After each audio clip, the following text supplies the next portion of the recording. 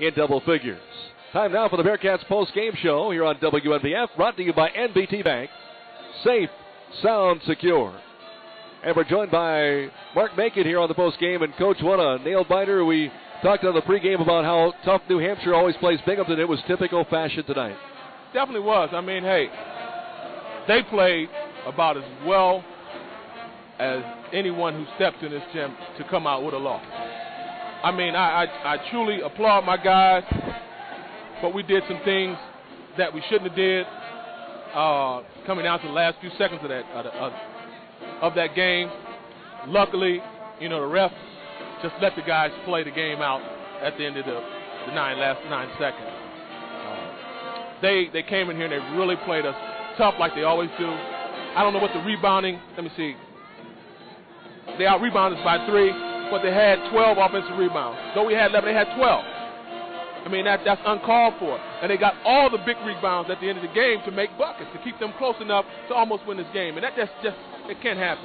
You know, you applaud them, you, you really you, you, truly do, and you applaud our team for staying in there and, and, and fighting.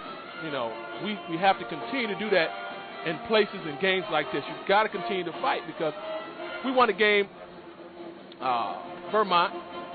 We beat UMBC and we come back here. We have to win this game. You can't you can't have a letdown uh, like that. We just have to we just have to continue to play. I mean, I, I don't feel good about how we played, but I feel good about the win. I definitely don't feel good about how we played because we didn't play well enough. I don't think to really come out and win this game. You know, the the basketball guys, as Coach Brodus used to say it, it, we're on our side today. You know, Coach, uh, you had um, Dane DiLiegro for them foul out late in the regular session. In the overtime, you got two good looks from Pina Guillaume down low uh, with him out of there. Yeah, I mean, Pena it does well. Kyrie came in and gave us good minutes. Mo played well, but we just didn't we just didn't play well enough to for, for us to come out with a win like this. I mean, basketball guys again, Coach Brodus basketball guys are on our side. We have to play better. We just have to play better. Well, Coach, uh, congratulations in overtime again. A thriller and a great crowd over 4,800. And again, the BU Zoo was behind you. Yes, they were. Crowd was great. They made a guy miss a free throw. Finally, that's that's a beautiful thing with, with having them back. Uh, and there was no football on this week, so it's great. A they stayed crowd. with us.